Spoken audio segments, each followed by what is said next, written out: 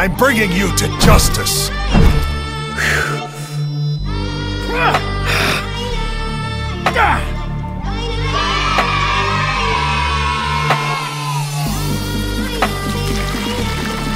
I suggest you surrender.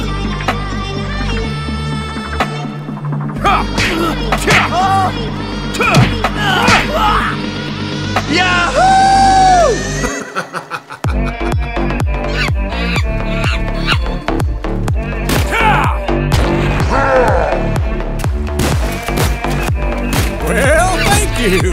Thank you very much.